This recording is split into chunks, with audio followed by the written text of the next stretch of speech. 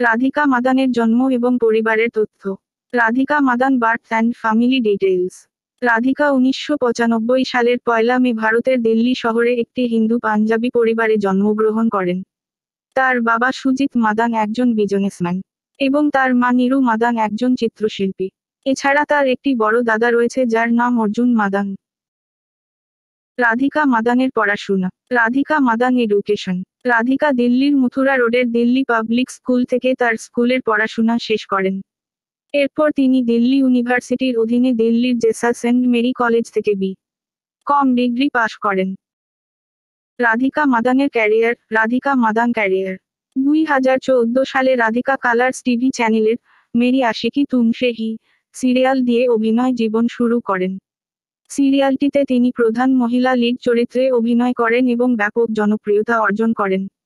সেই সময় সিরিয়ালটি colours TV চ্যানেলের জনপ্রিয় শোগুলির মধ্যে একটি ছিল যেটি দুই হাজার চৌদ্দ সালের জুন মাস থেকে দুই হাজার ষোলো সালের ফেব্রুয়ারি মাস পর্যন্ত চলেছিল। তিনি তার অভিনয় জীবনে এই একটাই টিভি সিরিয়ালে অভিনয় করেন। দুই তিনি বিশাল ভারতবাজের পরিচালনায় পটাখা সিনেমা দিয়ে বড় পর্দায় আত্মপ্রকাশ করেন। সিনেমাটিতে তার সাথে অভিনেত্রী সানা মাহোত্রাও অভিনয় করেন। দুই হাজার কুড়ি সালে তিনি আংরেজি মিডিয়াম সিনেমায় অভিনেতা ইরফান খানের সাথে অভিনয় করেন। এই সিনেমাটি অভিনেতা ইরফান খানের বেঁচে থাকা অবস্থায় মুক্তি পাওয়া শেষ সিনেমা। এছাড়া সিনেমাটি কারিনা কাপুর খানও গুরুত্বপূর্ণ চরিত্রে অভিনয় করেন। দুই হাজার একুশ সালে তিনি নেটফ্লিক্স ও টিটি প্ল্যাটফর্মে রে ওয়েব সিরিজে অভিনয় করেন।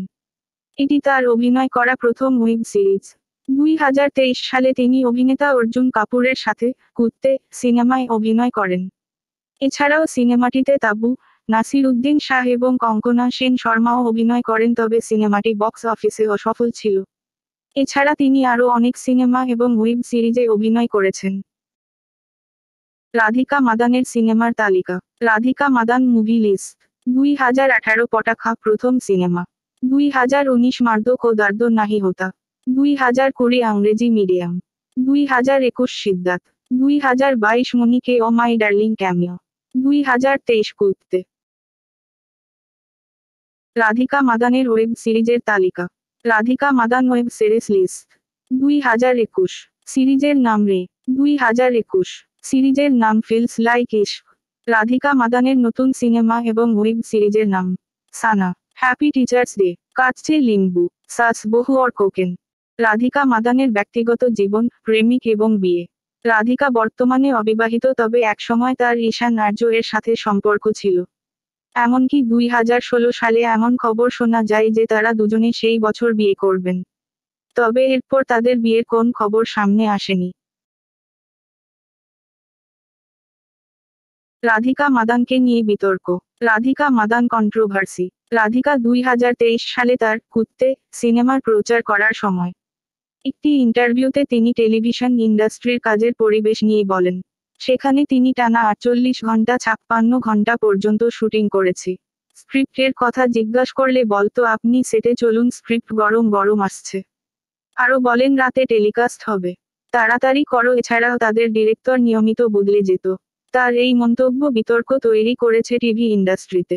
টিভি ইন্ডাস্ট্রির অনেক অভিনেতা, অভিনেত্রীরা তার এই মন্তব্য নিয়ে তার বিরুদ্ধে কথা বলেন। এর পাশাপাশি বিষয়টি প্রযোজক একতা কাপুরের নজর আকর্ষণ করে। দুই হাজার তেইশ এবং একতা কাপুর হতাশ হয়ে বলেন, এটি খুবই দুঃখজনক ব্যাপার যে অভিনেতা, অভিনেত্রী, তাদের শিকড় পর্যন্ত ভুলে যায়। টিভি অভিনেত্রী সায়ন্তনী ঘোষ রাধিকার মন্তব্যের বিরুদ্ধে কথা বলেন, তবে আবার টিভি ইন্ডাস্ট্রির অনেক অভিনেতা, অভিনেত্রীরা রাধিকার এই মন্তব্যকে সমর্থন করেছে। রাধিকা মাদানের পছন্দ এবং শখ, প্রিয় অভিনেতা, রণবীর কাপুর, প্রিয় অভিনেত্রী করিনা কাপুর, প্রিয়াঙ্কা চোপড়া, দীপিকা পাডুকোন। প্রিয় সিনেমা। জব উই মিট, কুচ কুচ হোতা হে, আজও প্রেম কি গজ কাহানি, টাইটানিক।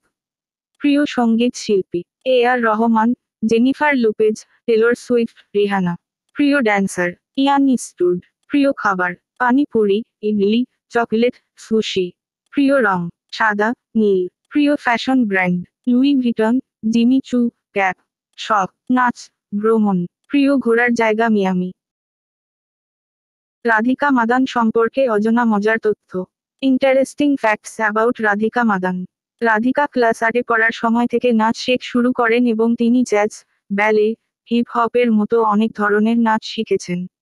এমনকি তিনি একজন ড্যান্স ইনস্ট্রাক্টর হিসাবেও কাজ করেছেন। ছোটবেলায় তিনি ক্রিকেট খেলতেন এবং একজন টম্বয়িশ মেয়ে ছিলেন। দুই হাজার তেরো সালে তিনি big B the diva beauty প্রতিযোগিতায় অংশগ্রহণ করেন।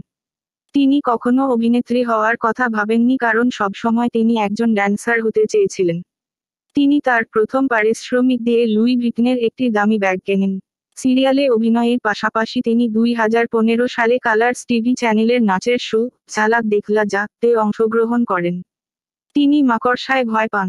তিনি একজন কুকুর প্রেমী এবং তার একটি কুকুর রয়েছে যার নাম ব্রিজার